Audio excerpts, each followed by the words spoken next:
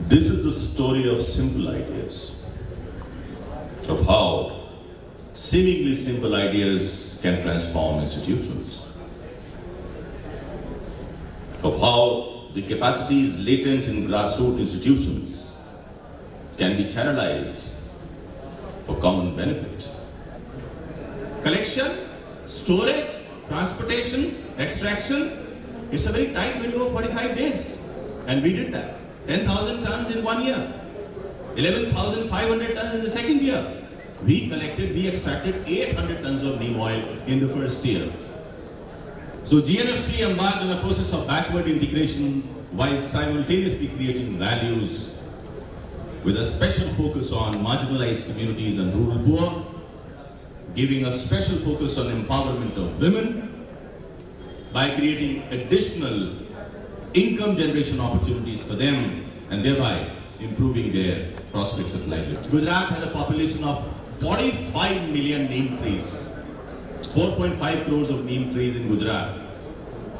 We identified by way of density of neem trees, districts, talukas and villages.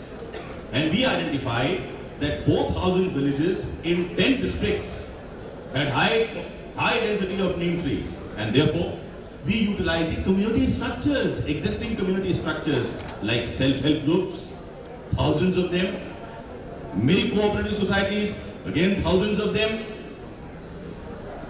other cooperative societies, all those community structures we enlisted and networked with and we created a large network of 2,500 collection centers. And therefore, storage, management and repacking, rebagging also has been a big challenge and it led to involvement of thousands of people and generation of employment, indirect employment of all those people. And therefore, extraction centers had to be identified in whole of Gujarat. And there, in those extraction centers, we got the neem oil. With the success of backward integration model, we embarked, we rolled out on a forward integration model. And the first thing that came to my mind was neem soap. That none of the neem soaps being sold today in Indian markets contains more than 3% of neem oil. So we decided, okay, we'll make a neem soap, but we'll change the composition.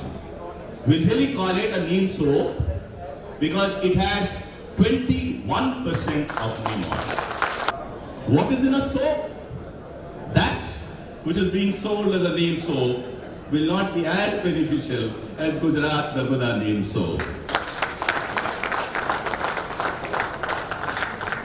So ladies and gentlemen, this forward integration we did and we are not stopping at that. We are in the process of uh, developing neem shampoo, neem hand wash, neem organic pesticide. And mind you, in a couple of months from now, we might also enter the market with a neem mosquito repellent. एक लाख महिलाओं को चार हज़ार से सात हज़ार रुपए तक की मासिक आय जो उनकी अपनी आमदनी के बाद की आमदनी थी वो मिली UNDP has conducted very recently a survey and they have come out with very, very encouraging findings. They have said that 40% of women, they have increased their economic decision making within their households. 99% of women, they have said that they are happy being associated with this project and they're looking forward for next season. And 13% of women have said that after the project generated income for them, the incidence of domestic violence in their homes has reduced. The government of India, very recently, this very precincts, it directed all the fertilizer companies in the country to adopt and implement the NEEM project. The reason is very simple. Ladies and gentlemen, we are standing at the cusp of a NEEM revolution in the country. And if the whole model is implemented in the country by all the fertilizer companies, it has the potential of generating employment to more than 6 million women all over the country. generating income of anything between 1,000 crores to 2,000 crores to these dairies.